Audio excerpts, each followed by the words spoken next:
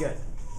So if I was going to do a problem like this, um, what I'd make sure, what I want to do is remember when we have a, a compound inequality, there's a couple ways we can do it. We could separate it into two separate inequalities, or what we can do is we can solve this compound inequality as just one inequality. So if I have negative 6 is less than b minus 4, which is less than 2.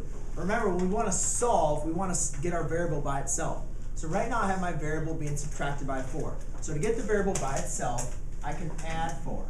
Now remember when we had equations or we had inequality, we'd always like add whatever you added to one side, you'd have to add to the other side.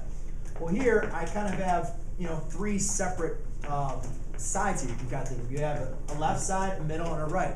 Well, what I'm going to do is since I'm adding 4 in the middle, I'm going to now want to add 4 to the both the left and the right. Therefore, negative 6 plus 4 is a negative 2, is less than b, which is now less than 6. So if I want to graph this, I say, all right, it's going to go between negative 2 and it's going to be between 6.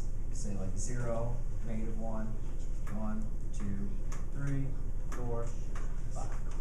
All right, so what it says is negative, so it says b, and always remember if you want to say this out loud, just always say it with the variable first. b is greater than negative 2. So that means all numbers that are greater than negative 2.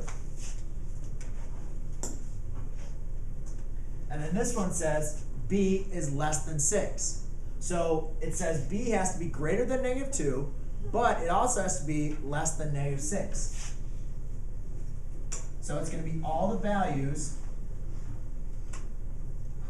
in between negative 2 and 6. One last thing you need to make sure, remember your circles for your given points are not going to be filled in because, remember, this is a less than or equal to. I'm sorry, it's a less than, not a less than or equal to. So remember, whenever it's less than or greater than, we're going to leave it as open circles. Okay?